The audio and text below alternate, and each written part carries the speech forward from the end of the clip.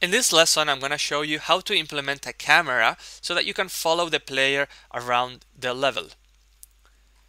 First thing we want to do is um, grab the player in the code, select the player, and then create a viewport that will follow this player. So let me start.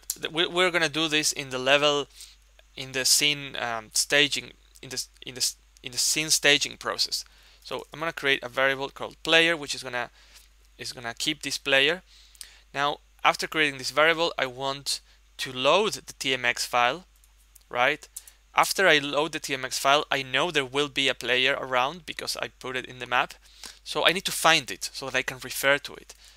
Let's find it by calling q dot I mean, q player will give me all the player elements that there are in the game. You can use this to select, say, all of the enemies, all of the coins, but I only want the first.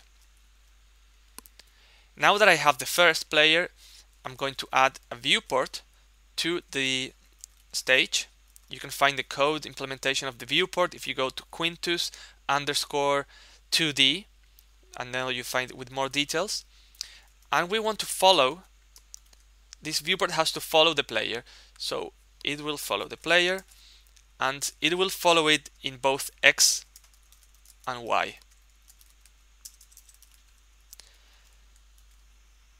Let's reload the page and see how now the camera follows the player on X and Y. Now, you've noticed that the camera is not really leaving the level, right?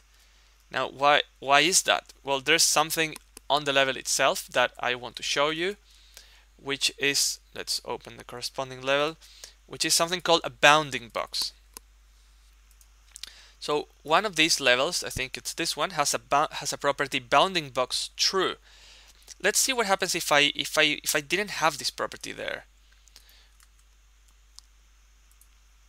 Then this would just it wouldn't have a board uh, um, a hard border. It would just always center the screen, the camera on the player.